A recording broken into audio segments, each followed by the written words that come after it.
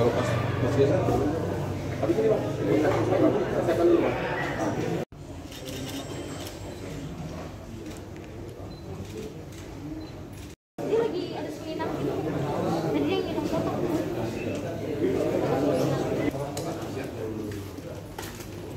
Ini benda-benda yang mematikan itu pertama disemprot dulu nih. Jadi semprotannya nih yang dipegang Pak Kapolres. Ya.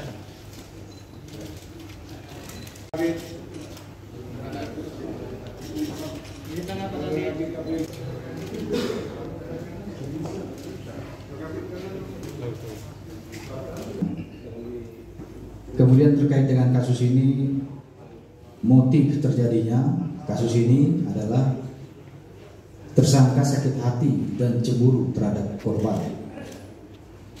Adapun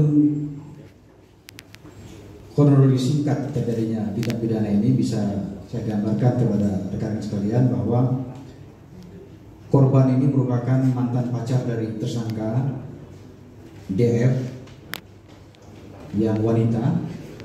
Ini sering kali menghubungi dan mengajak tersangka DF untuk berhubungan badan sehingga membuat tersangka kesal. Kemudian tersangka DF menceritakan hal tersebut kepada tersangka FR yang merupakan pacar dari tersangka DF kemudian tersangka juga melihat pembicaraan di media sosial melalui pesan WA korban kepada tersangka DF sehingga tersangka FR ini meminta kepada tersangka DF untuk berbicara dengan korban melalui telepon dan memancing korban agar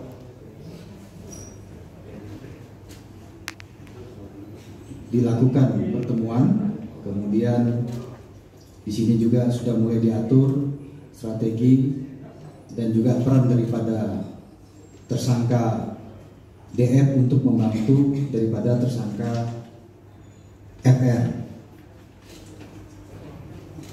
Kemudian rekan-rekan sekalian, ini pada saat korban menemui tersangka eh, DF di perumahan Fortun Ciledug, Kota Tangerang, mereka berjalan menuju jalan Puri 11 arah masuk gerbang tol Tangerang, Kelurahan Parung Jaya, Kecamatan Karangtengah, Kota Tangerang, di mana tersangka FR sudah menunggu untuk membunuh korban.